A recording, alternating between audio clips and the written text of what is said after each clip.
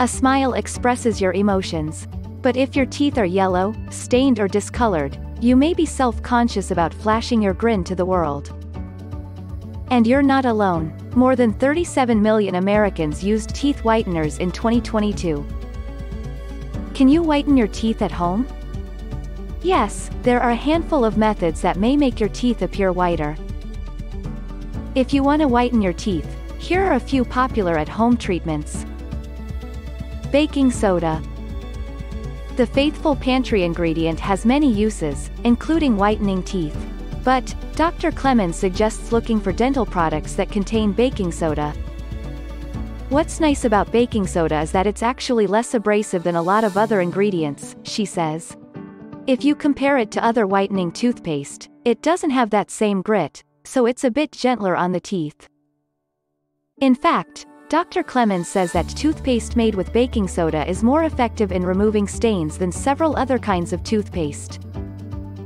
What you want to make sure of with any of these toothpastes is that you're still getting fluoride, she says. One of the main benefits of a toothpaste is that you're getting at least two daily applications of fluoride to the teeth. Oil pulling. A traditional Indian practice, oil pulling can be time-consuming and may not offer the kind of results you're hoping for. I haven't seen any good evidence that it will whiten teeth, says Dr. Clemens. The process involves using one tablespoon of oil like sesame, coconut or sunflower to swish around your mouth for 15 to 20 minutes a day.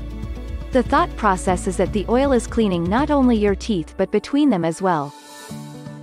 Oil pulling is not a substitute for keeping teeth clean, says Dr. Clemens.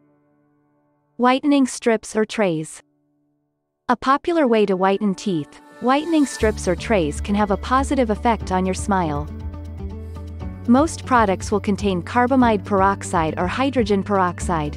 You'll typically have to wear the solution on your teeth for 30 to 45 minutes daily. With so many options available for home use, the main difference to look for is fit. A customized fit, especially in trays, will give you more control over where the gel or formula goes and how long it stays on.